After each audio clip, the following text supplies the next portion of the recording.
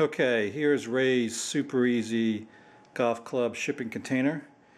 It's um, basically a 48 inch long tube, 12 inches in diameter that I bought at Home Depot. They have um, 14 inches and 16 inch diameters available as well, depending upon what fits your clubs. So um, here's all I do is I just slide my clubs in here. They've been slipped in most of the way. I'll let them down the rest of the way.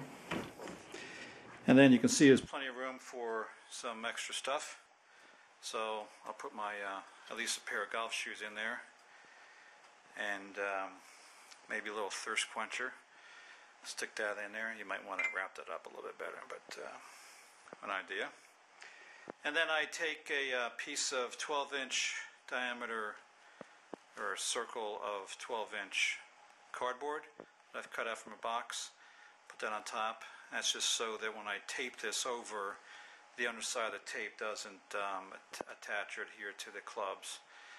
And then I use uh, duct tape. I bought red just because it looks a little bit nicer, but you can use the silver stuff. And I use 20 or 30 pieces to um, to tape to tape over um, the end, and then I trim it off circumferentially. How's that work? In any case, uh, there it is. Um, that's what the bottom looks like. I've done, already done that.